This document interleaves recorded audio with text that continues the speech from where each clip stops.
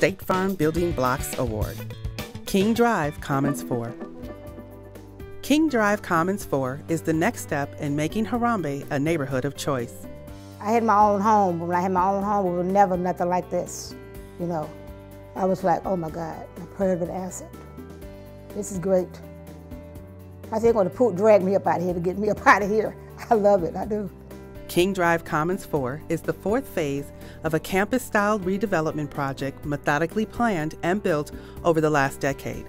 The largest development of the Martin Luther King Economic Development Corporation to date, KDC 4, was co developed by Impact 7 and in partnership with Universal Construction Services, Miller Architectural Group, Reinhart Attorneys at Law, and Wisconsin Redevelopment.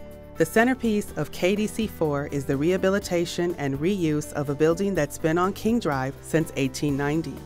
Recently a boarded up eyesore, it now boasts 5,000 square feet dedicated to commercial space, in addition to six apartments, community room, resident business office, fitness center, and outdoor freedom garden featuring a sculpture of Dr. Martin Luther King Jr., commissioned from renowned artist Zenos Frudakis.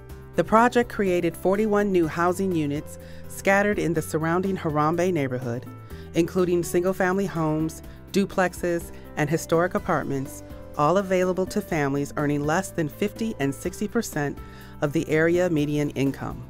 King Drive Commons 4 has increased the number of affordable housing units in Harambee and serves as a catalyst for continued development and you convert it from an eyesore into a new asset for, for the community, what it does is it helps to show other people in the community that what they have is valuable. And so now they're, they're more willing to put money into their properties. And in fact, this building has spurred a lot of other interest in neighboring properties.